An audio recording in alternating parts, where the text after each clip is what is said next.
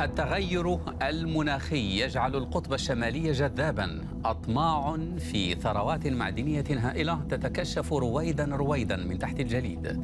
المنطقة المحيطة بالقطب الشمالي كانت تعتبر لزمن طويل منطقة برية من الجليد والثلوج لا نهاية لها.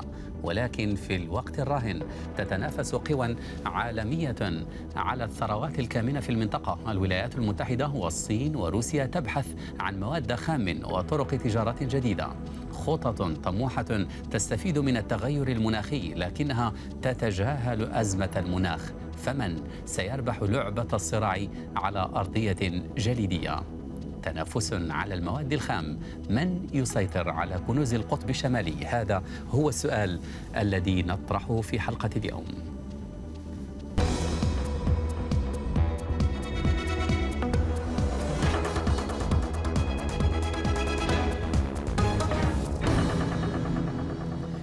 أرحب بكم مشاهدينا الكرام إلى برنامجكم الحواري بتوقيت برلين كما أرحب بضيوفنا الكرام وهم السادة. شبرمة ياسين صحفي مقيم في برلين. عامر الموسوي الصحفي والمحلل السياسي. والدكتور محمد الشرقاوي ينضم إلينا من واشنطن وهو أستاذ العلوم السياسية. أبدأ معك عامر. إلى أي مدى يهمنا كمواطنين عاديين ذلك الصراع على الثروات في القطب الشمالي المتجمد؟ يعني أحمد إنه نقطة صراع جديدة أو متجددة لنفرض لنقول ذلك. شهدنا صراعات على مستوى المسرح الدولي في جنوب شرق آسيا في الشرق الأوسط وكانت يعني تودي بالنظام الدولي. وهنالك حروب يعني دولية وحروب عالمية حدثت بسبب خلافات، ما يهمنا من هذا نقطة الخلاف هذه هو مخاوف من أن تتجدد الصراعات القديمة التي كانت حصلت في القرن الماضي. ومن الممكن إن لم نأتي بطريق دبلوماسي وتوزيع عادل لهذه الثروات التي جاء ذكرها في تقريركم ربما نشهد تصادما لقوى عالمية كبرى وتكون بدل من أن تكون نقطة يعني نقطة التقاء لهذه يعني هذه القوى ولكن نقطة تصادم وهي قريبة عن عن أوروبا المنطقة الحيوية في العالم. طيب دكتور محمد حتى العام 2000 لم يكن هناك صراع بين الدول المتاخمة للمنطقة القطبية هل مرد هذا الصراع المستشري اليوم هو التغير المناخي وبداية ذوبان جليد القطب الشمالي؟ أعتقد أن الأسباب متعددة ومركبة بعضها تقليدي وبعضها وليد القرن الحادي والعشرين الدول عادة تبدي الغرام الشديد لبسط سيادتها على أكبر مساحة ممكنة فبالتالي أعين الدول العظمى الآن على كل من القطب الشمالي وحتى القطب الجنوبي. لكن هناك طبعا الأسباب الجديدة منها كما ذكرت الاحتباس الحراري وأن هناك كميات متزايدة من الجليد التي تذوب سنويا. بمعنى منسوب الحرارة يرتفع أكثر من بقاء حالة التجمد في هذه المناطق على ما هي عليه وهناك سببان آخران. السبب الثالث هو الآن التفكير مليا في أن هناك ثروات تحت تلك الطبقات الجليدية يمكن استكشافها ويمكن لهذه الدول أن تكون سباقة إليها.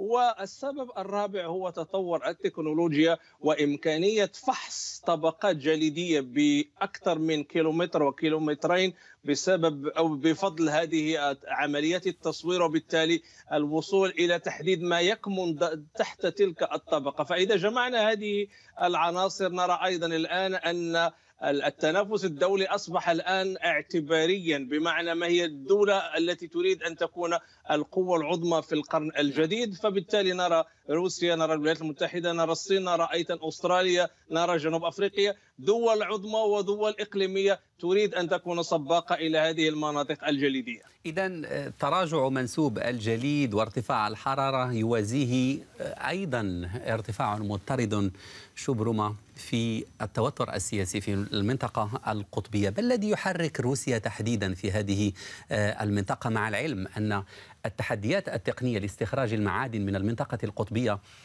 هائلة جدا؟ وحتى الخبراء يقولون أن استخراج الثروات إن وجدت غير مجدي اقتصاديا لكن روسيا نجدها أكثر المتحمسين للهيمنة ولبسط السيطرة على أكبر منطقة ممكنة. ما الذي يحركها؟ في البداية روسيا لها قرابة 20 ألف كيلو متر مساحة مع القطب الشمالي وهي أكبر دولة لها مساحة مع القطب الشمالي. إذا ما أخذنا بعين الاعتبار الدول السبعة الأخرى اللي هي الولايات المتحدة الأمريكية وكندا وأيسلندا والدنمارك والسويد وفنلندا والنرويج لروسيا مساحة كبيرة مع القطب الشمالي.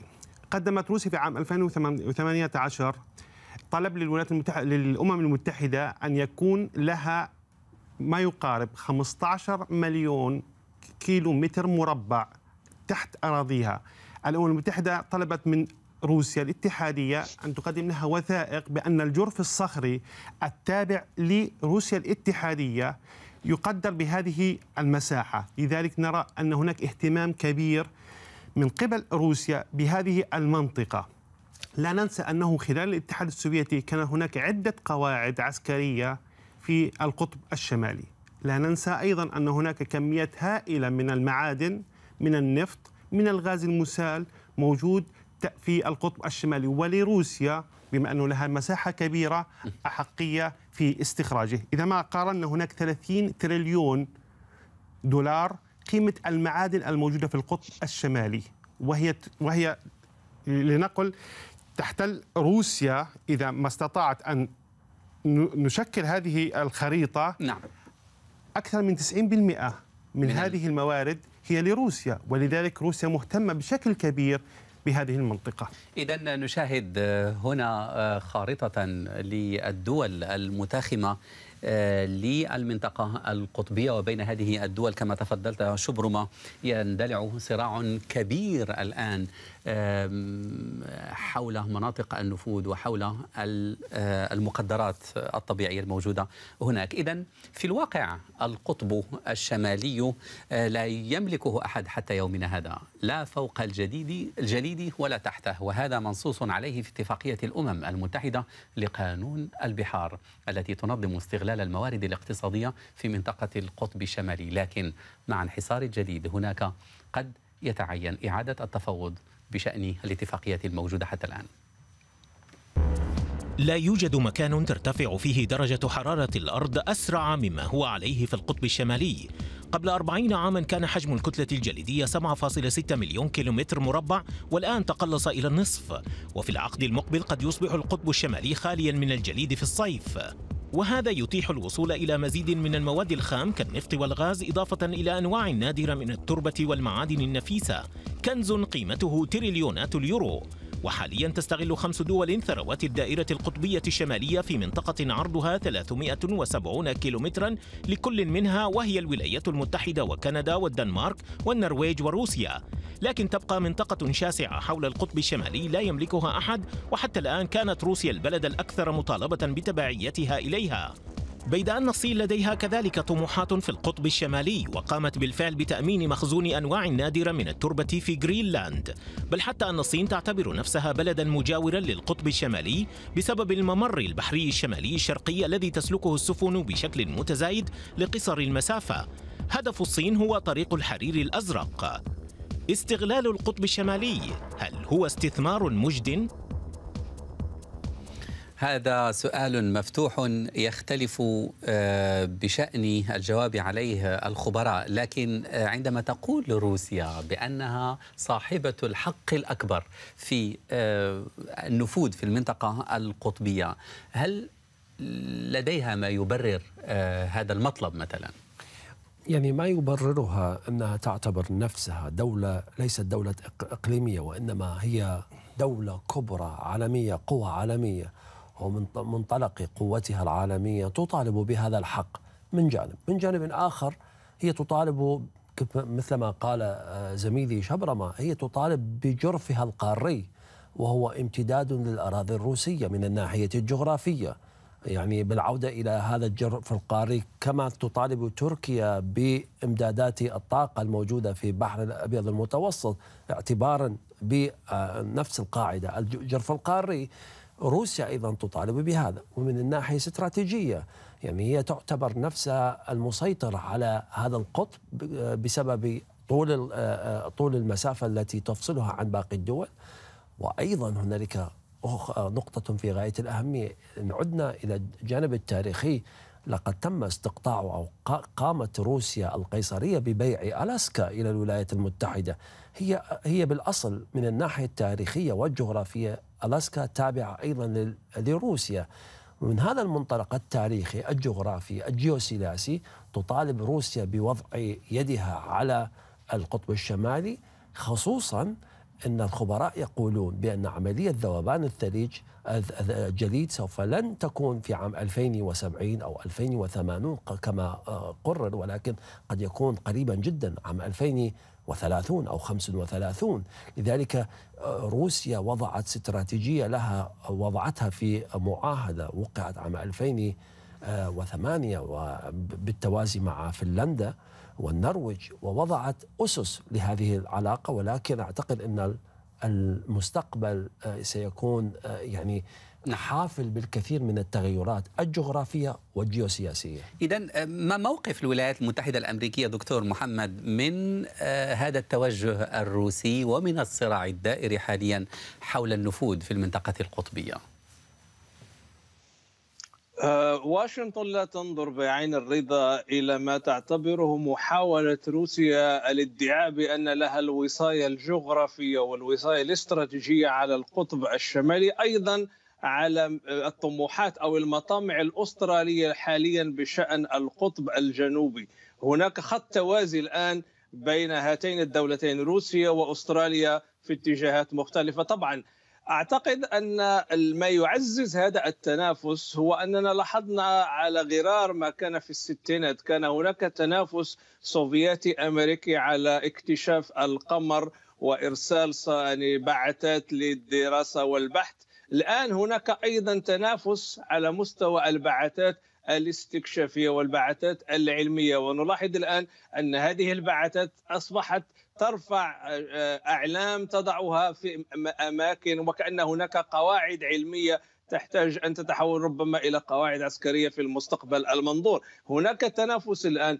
الولايات المتحدة تجد نفسها الآن أن تريد أن تكون من الدول الزعامة في الاتجاهين، ليس فقط باتجاه مستقبل التنقيب في القطب الشمالي بل أيضا في القطب الجنوبي. ونلاحظ الآن أن هناك حاجة كما ذكر أحد الضيوف هناك حاجة لإعادة النظر في معاهدة قانون البحار وأيضا إعادة النظر في هذه المطامح. وهناك الآن على الأقل أكثر من 12 دولة ترنو إلى أن يكون لها موطئ قدم في القطبين الشمالي والجنوبي. طيب هذا المشهد الذي ترسخ في أذهاننا جميعا وهو مشهد روبوت روسي يقطع مسافة طويلة تحت الجليد ويضع العلم الروسي في مكان ما بالقطب الشمالي. من الناحية القانونية هل يعتبر أو تعتبر المواثيق الدولية بهكذا إجراء؟ عندما تكون دولة ما سباقة لوضع علمها في منطقة لا يملكها أحد. هل تصبح تابعة لها مثلا؟ دكتور محمد. عفوا. هذه إشكالية قانونية في القانون الدولي أساسا. ولاحظنا أن أغلب الاتفاقيات سواء كانت بشأن البحار أو بشأن المياه الإقليمية كانت دائما تستند إلى توافقات يتفق عليها الأطراف تتفق عليها الأطراف الموقعة أو على الأقل المؤسسة لأي اتفاقية كانت. لكن الآن هنا الادعاء بالملكية أو إعلان النية في بسط السيادة أعتقد يثير وضع جديد لم نعهده من قبل. في المعاهدات الدولية بمعنى أن القطب الشمالي والقطب الجنوبي منطقتان خارج سياق أي سيادة قومية لأي دولة من الدول. أعتقد الآن الأمم المتحدة ستجد نفسها مضطرة إلى إصدار دعوة للدول الكبرى على الأقل والدول المتنافسة بأن تتوافق من جديد بمعنى هل هناك مقاييس لاحظنا أنه بالنسبة للبحار هناك الفرق بين المياه الإقليمية والمياه الدولية، الآن هل يمكن أن نعتمد نفس المقياس بمعنى هل الثلوج ثلوج إقليمية أم ثلوج دولية؟ هذه مسألة لم نصل بعد إلى تحديدها من قبل آه، المنظمات أو الوكالات التابعة للأمم المتحدة لكن نعم. أعتقد هي مسألة وقت. كلما تصارعت المنافسات بين روسيا والولايات المتحدة والدول الإسكندنافية وأستراليا وجنوب أفريقيا.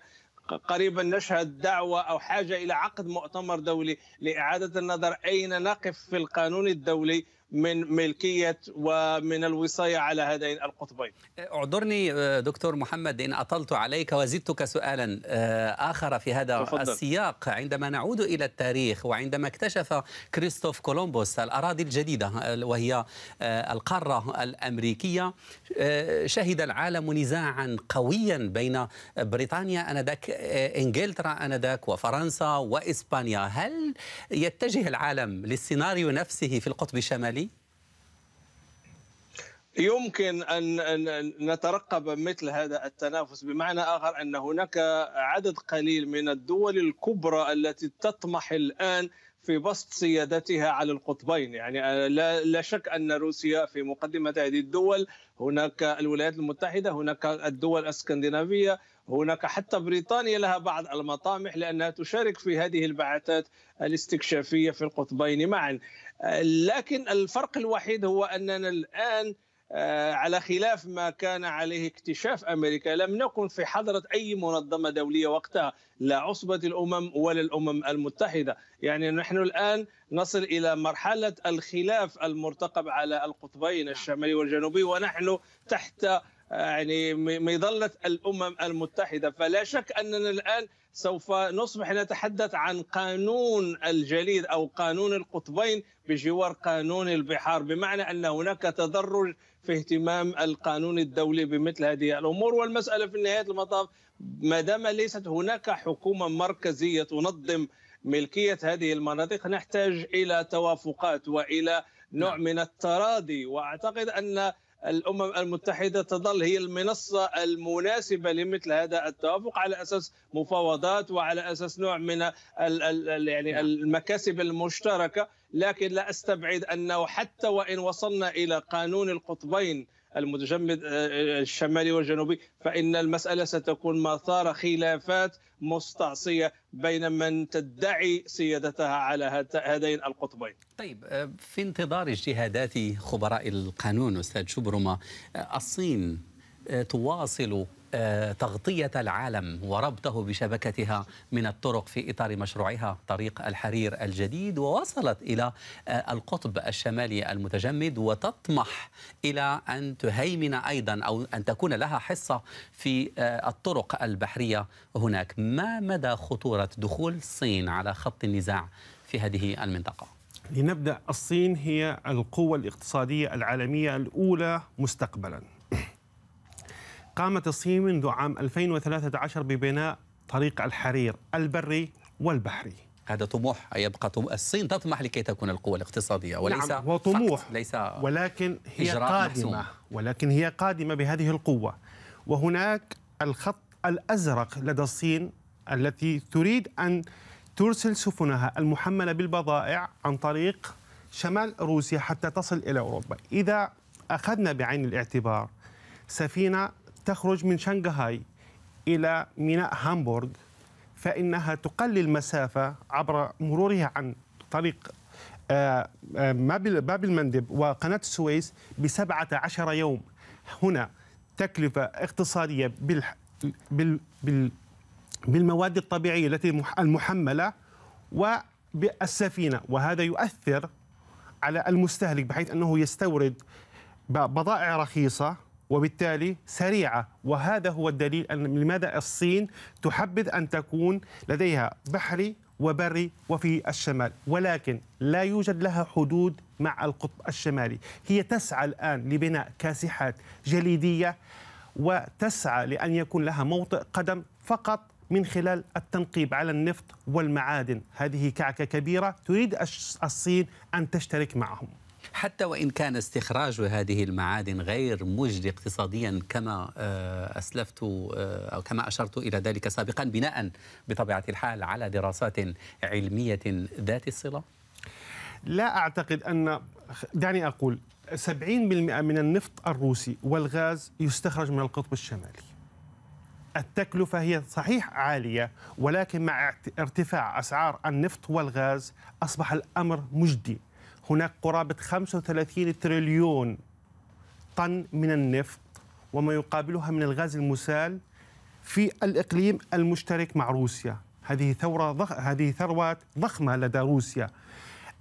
أن نقول أنها غير مجدية لا أعتقد أن هناك شيء اسمه غير مجدي. لنأخذ مثلا آه، شركات النفط الأمريكية في الشمال الأمريكي. نعم. استخراج النفط في شمال أمريكا غير مجدي ومكلف. ومع ذلك فإن هذه الشركات تقوم بإنتاجه بناء على أن تقوم أسعار النفط وأن ترتفع أسعار النفط. طيب آه عامر ما رأيك في جدوى هذا الصراع؟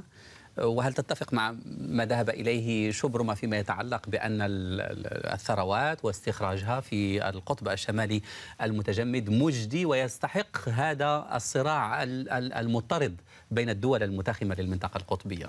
أحمد ما نتحدث عنه اليوم هو ليس الفائدة الاقتصادية بالدرجة الأساس إنه مشروع ذو أبعاد سياسية جيوسياسية، يعني هنالك مثل ما قال زميلي شبرمه هنالك بعض الدول التي يمكن أن تستثمر اموالا طائلة في مشاريع ليس بالضرورة أن تدر عليها فوائد اقتصادية ولكن الفوائد الجيوسياسية على المستوى البعيد تكون أكبر وأعمق.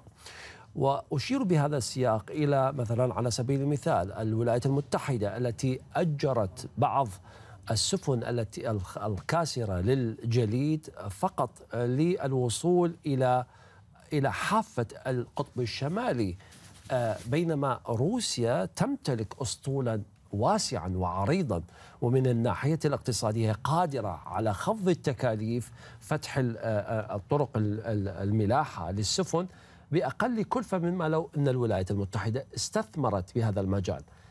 لو قسناها بالربح والخسارة الولايات المتحدة ستخسر أكثر بكثير من ما لو استنفذتها روسيا. ولكن لكن هناك عامل آخر عامر إن استراتيجية. هو تراجع أسعار النفط على آه عكس ما ذهبت إليه شبرمة في الآونة الأخيرة. هناك انتعاش في الأسعار الآن ولكن المسار آه العام منذ آه أكثر من ثلاث سنوات هو مسار تراجعي فيما يتعلق بأسعار النفط آه، تحديدا.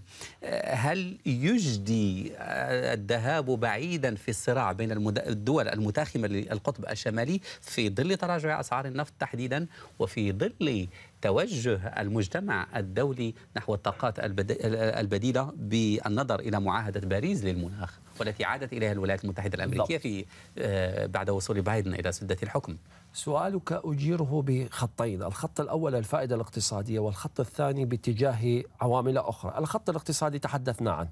هنالك دول تستثمر مع أنها تخسر في النهاية ولكنها لديها أسباب أخرى استراتيجية. أما الجانب الآخر الجانب البيئي أحمد والجانب المهم الذي لم نتحدث عليه لغاية الآن الولايات المتحدة بإدارة جو بايدن وعودتها إلى اتفاقية باريس لحماية المناخ والاحتباس الحراري قد تضع عنصرا جديدا من عناصر الصراع المنتظر في هذا في هذه المعادلة، يعني عندما يضع السيد جو بايدن وإدارته الجديدة مستقبل المناخ وحماية المناخ كواحد من المعايير الأساسية للسياسة الخارجية للولايات المتحدة، فإنه بطريقة أو بأخرى يقول إن أردتم استغلال هذه الثروات عليكم مراعاة المخاطر البيئية التي يمكن أن تغير الميزان البيئي الموجود في هذه المنطقة الحساسة والذي يغير طبعا يؤثر على كل العالم.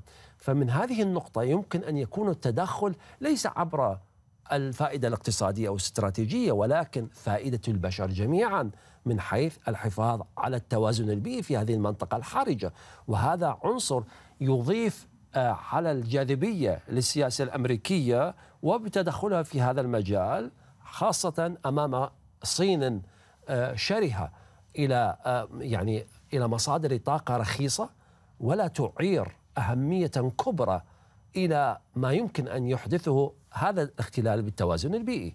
دكتور محمد الشرقاوي هل آه، أنت متفائل بهذا التوجه بمعنى أن آه، آه، الخوف والرعب العالمي من ظاهرة الاحترار يمكن أن تحجم هذا الصراع على الموارد في منطقة تنظم أو تنظم الحركة البيئية على كوكب الأرض برمته؟ لا تفاؤلي تفاؤل نسبي. أتفائل فقط بإمكانية أن تتوافق الدول الكبرى على طريقة اقتسام آه، وصايتها في هذين القطبين. لكن أيضا أبدي الخشية من أننا في مجال الطاقة نحن أمام مجال مرن مجال متحرك.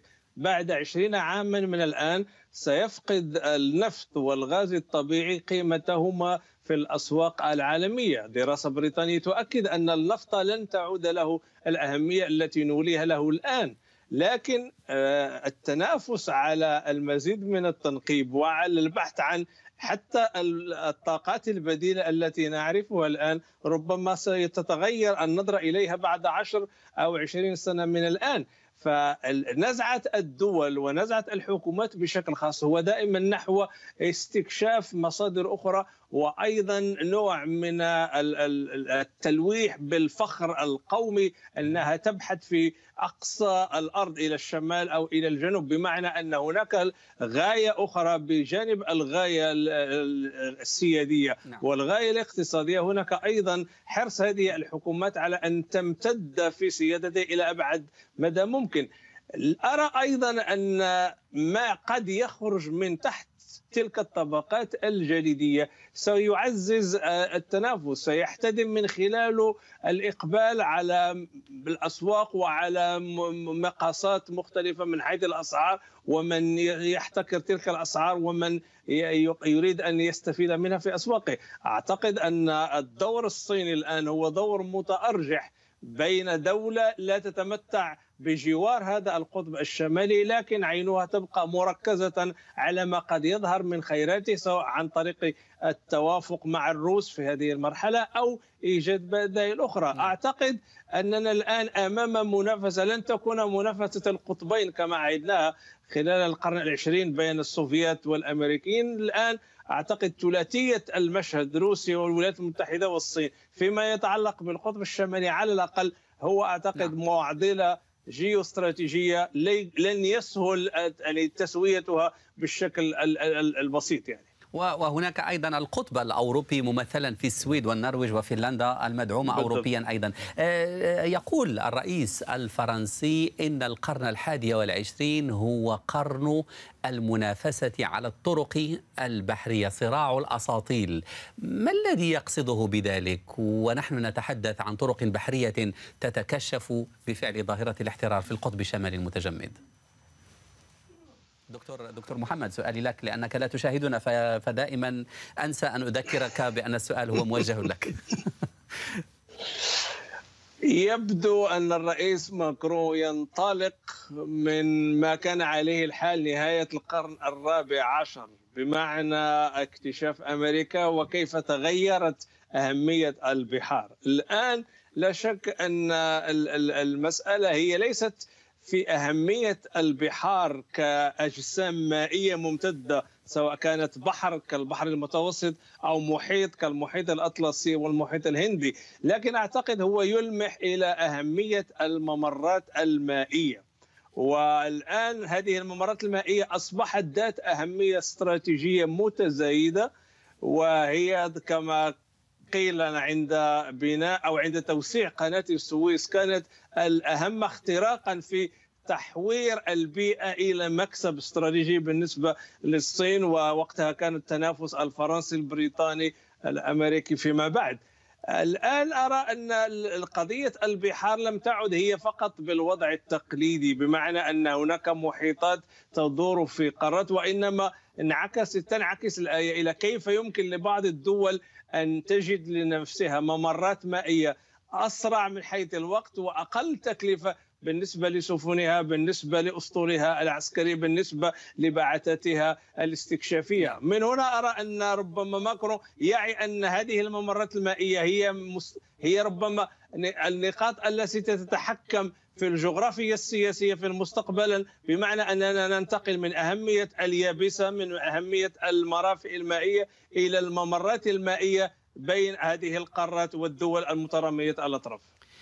إذا آه، نتيجة لذوبان الجليد في القطب الشمالي تتغير الحدود البرية للدول أيضا ومعها على ما يبدو من وجهة نظر بعض الدول تتغير الحاجة أو تزيد الحاجة إلى تسليح المنطقة على نطاق واسع نتابع بداية نقل سلاح الجو الأمريكي قاذفات قنابل من نوع بي واحد إلى النرويج. وبعد أسابيع قليلة من توليه منصبه بعث الرئيس الأمريكي بايدن رسالة إلى روسيا مفادها أن الولايات المتحدة مستعدة للدفاع عن حلفائها في الدائرة القطبية الشمالية ضد أي عدوان روسي محتمل. لكن خبراء يعتبرون هذه إشارة أيضا على رغبة الولايات المتحدة في عدم فقدان تبعية المنطقة إليها. السباق على نطاقات اقتصادية جديدة في القطب الشمالي يجري بالتوازي مع عسكرة المنطقة. روسيا تعمل منذ سنوات على تسليح الشمال وتنشئ قواعد عسكرية هناك للدفاع عن أراضيها ومصالحها المشروعة على حد تعبير موسكو. صواريخ اس 400 متوسطة المدى تصل حتى جرينلاند أو ألاسكا.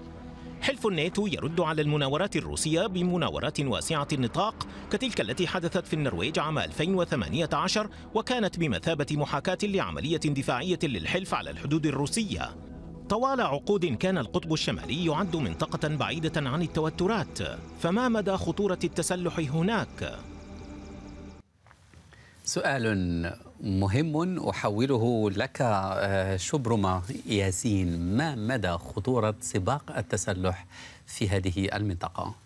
في البداية دعني أتحدث أن آه، القوة هي التي تحافظ على الاقتصاد بشكل عام بمعنى آخر هذه الإمكانيات الضخمة الموجودة لدى الروس قاموا ببناء ست قواعد في القطب الشمالي. منها أكبر قاعدة وهي قاعدة تريفول وهي 150 ألف قدم. هذه القاعدة تستطيع أن تقوم بضرب صواريخ آه، باليستية تصل إلى الولايات المتحدة الأمريكية. ننتقل من روسيا إلى كندا. قامت ببناء قاعدتين عسكريتين أيضا في كندا. الولايات المتحدة الأمريكية غائبة بعض الشيء عن بناء قواعد عسكرية. هناك شقين هناك دول تسعى للتسلح وهي كندا وروسيا الاتحادية وهناك دول لا تسعى إلى هذا التسلح وهي الدول الستة الباقية والتي هي مطلة على القطب الشمالي. لماذا تسعى روسيا إلى التسلح وإلى بناء ست كاسحات جليد بناء غواصات نووية للمحافظة على هذا الكم الهائل من المساحة للمحافظة على الكم الهائل من الثروات؟ ظهرت هناك خمس جزر جديدة منذ عام 2019 إلى الآن جديدة إلى روسيا وهذه الجزر الجديدة بمثابة أرض جديدة إلى روسيا نتيجة الاحتباس الحراري. طيب لكن هناك أيضا الحلف الناتو الذي يجري كما ورد في التقرير تدريبات عسكرية تحاكي تدخلا روسيا في المنطقة أو مواجهة آه، روسيه هل تتجه المنطقة فعلا إلى حرب باردة جديدة على الأقل حتى الآن؟ أستبعد قيام حرب حقيقية ولكن هي حرب مصالح وحرب لنقل. روسيا تمول الاتحاد الأوروبي بالغاز عن طريق نورد ستريم ويصل هذا الغاز إلى ألمانيا ويستفيد منه 40% من الشعب الألماني. إذا هناك تواصل عن طريق الطاقة. لا يمكن للاتحاد الأوروبي مجازا أو لألمانيا مجازا العيش بدون الغاز الروسي لأنه هو رخيص وسهل الوصول.